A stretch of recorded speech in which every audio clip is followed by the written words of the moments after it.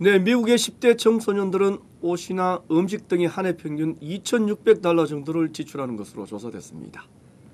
금융회사인 파이퍼 제프레이가 10대 청소년 8천여 명을 대상으로 조사한 결과라고 합니다. 응답자들의 절반 이상은 가장 선호하는 웹사이트에 아마존을 꼽았습니다. 또 10명 중에 8명은 아이폰을 가지고 있다고 답했습니다. 이들 10대 청소년들의 한 해 소비 규모는 750억 달러로 추정됐습니다.